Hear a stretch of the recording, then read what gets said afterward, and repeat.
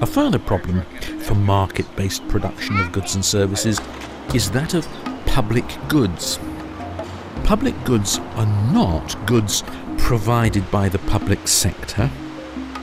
They're not defined by the ownership of the resources used to produce them, but by certain characteristics that these goods produce. And there are two important features that we look at.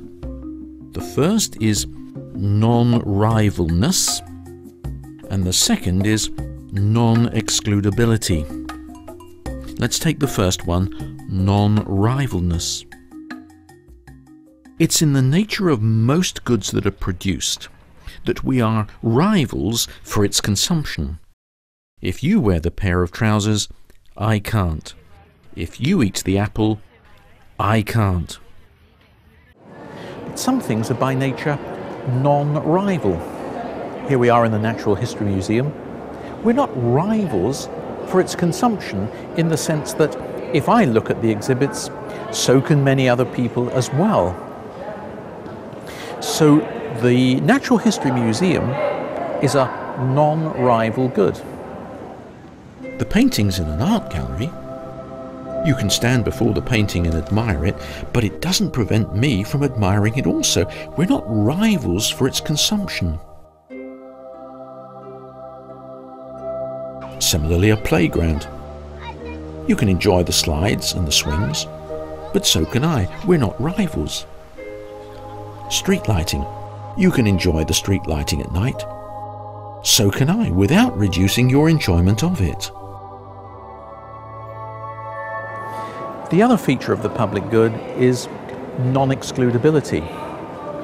Most goods are excludable, so that the producer can say, if you don't pay for it, you don't get to consume it. If you are not willing to buy the apples, you will be excluded from their consumption. And that's why most markets work well. You cannot consume unless you are prepared to pay the producer. But certain goods and services are non excludable. Street lighting would be a good example. It's not possible for the owner of the service to turn the street lights off when people come by who haven't paid. A lighthouse is a good example of a public good because it demonstrates our two key features, non-rivalness and non-excludability. Take non-rivalness first. If some shipping companies' boats are kept off the rocks by the lighthouse, it doesn't stop other shipping companies also using the services. These are non-rival. It's also non-excludable. It's very difficult to see how once the lighthouse is provided, how people who will not pay for it can be excluded from its consumption. When lighthouses were first built and the fires were lit they tried to charge shipping companies for the use of the lighthouse, but it became impossible to do so. And they began to charge ships in port. The problem is that once they've done that, they're not charging at the point of use.